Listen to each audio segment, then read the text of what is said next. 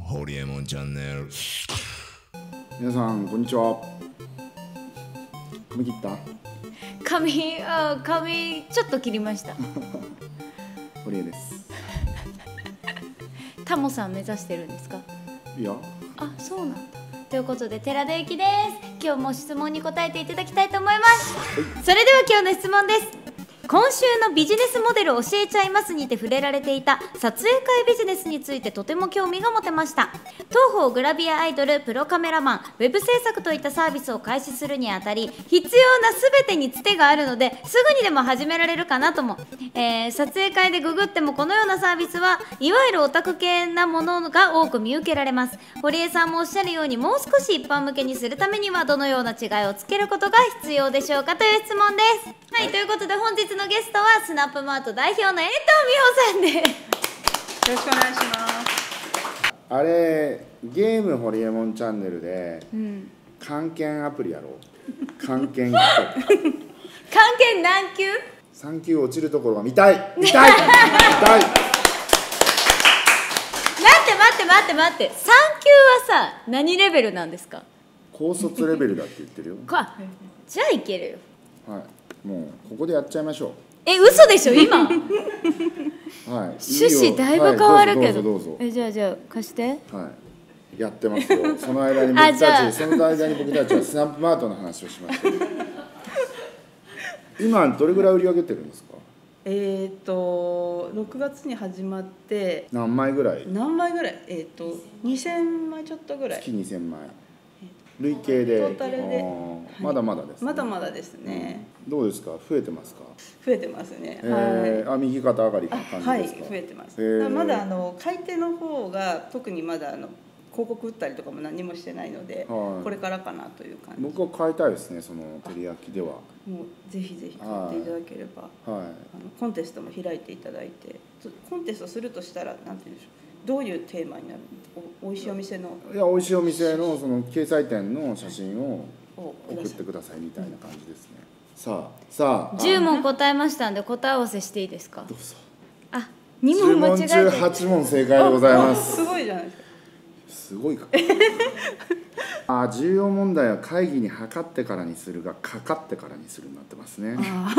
あと新製品の開発に執念を燃やしているが失念を燃やしているになってます執念燃やすって言うと思って。言うね。でもね僕はあのよく僕の本ってベストセラーのランキングに載ったりするんですけど、そういう写真を撮ってほしいかもしれないですね。ああなるほど。それも今すぐ頼みたいかも。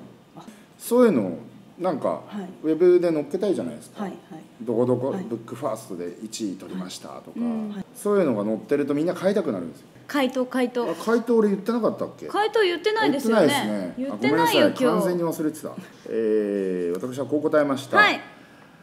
えーイメージ戦略ですかね、えー場所とか LP のデザインとかカメラのレンタルとか、えーいろいろなことに、えー気を配るべきでしょうと、うん。はい、これ撮撮影影会ビジネスですね、うん。これはあれなんですね。もともとあの、えっと、僕がオンラインサロンの合宿でこの間宮古島で合宿やったんですけど、まあ、宮古島といえばグラビアアイドルでしょみたいな、水着でグラビアでしょと思いついて 水着でグラビア撮影会ってやったら大人気で。うん。プロがカメラマンがもういいたからそのカメラマンが指導してくれてすごくその雑誌の表紙みたいな写真が撮れますよみたいなのをやったら大人気で、結構撮影会ってグラビアアイドルとかって撮影会やったりとかしてるよねよく。やってますやってます。そうそう。で、結構その1枚ね1,000円とか500円とか1,000円で売って、でなんかね10分間独占とかだとでそれは10万円とかするんだけど、だから1日100万円とか稼ぐやついるんですよ、へえ。撮影会って。そうなんですね。で撮影会の主催者となんかギャラ折半みたいな感じで、だから50万とか取ってくんだよね、だから10人ぐらい女の子を呼んで撮影会やって中抜きしてみたいな、うん。すごいよね。っていいビジネスでいう話ででオタクしか来ないんだけどそれには、じゃなくてうちのサロンのメンバーでそのやってみたら意外普通の人もあ結構やりたいんだなと思って。うん。で普通の人向けにオタク向けじゃなくて普通の人向けにもっと一般化した撮影会ビジネスってできるんじゃないかっていうことだったんですね、うん。はい。うんうんうんそれもちょっとなんか関連しますよね。そうですね。なんかあの写真撮るの好きな人すごいいっぱいいてでもやっぱモデルさんがいないって困ってる人たちすごいたくさんいるので、マッチングビジネスとかあるんですかねそういう。あのよくツイッターとかでは声かけてる人見るんですけど「うん。被写体です」とかやってる女の子に、うん。あの直でいや言ってる人。完全なマッチングはされてないと思いますね、サービスはないと思いますよ。じゃあそれは連携してね立ち上げますかね。じゃあちょっとその辺参考にしてみてください。それではカメラに向かって告知をお願いします。はい、えースマホの写真が売れるえースナップマート。えっと App Store から無料でダウンロードできますので、えー、とダウンロードぜひ使ってみてください。よろしくお願いします。はいぜひ皆さん調べてみてください。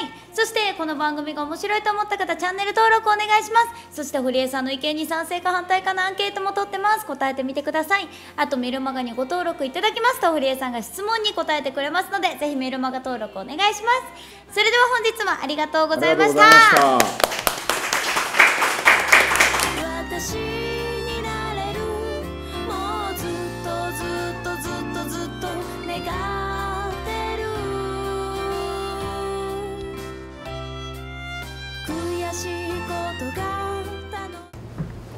メルマガ登録はこちら。チャンネル登録もよろしくね。どう？